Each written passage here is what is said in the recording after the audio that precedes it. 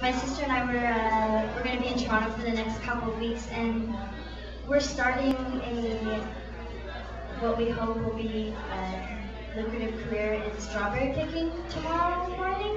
So, we you know, we do it all: music, berry picking.